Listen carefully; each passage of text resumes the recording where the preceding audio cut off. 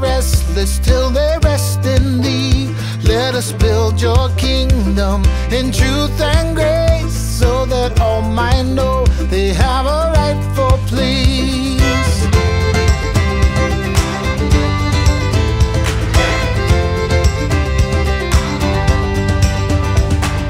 Beauty ever ancient and new breaking through our deafness so we hear you,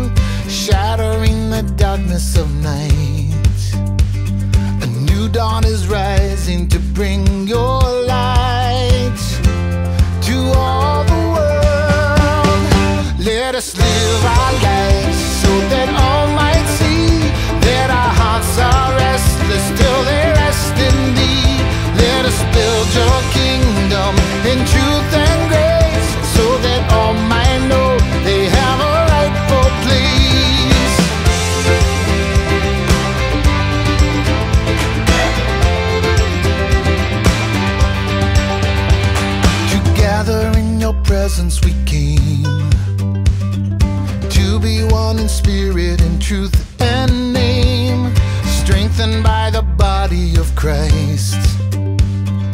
Taking up the call now to share your light with all the world. Let us live our lives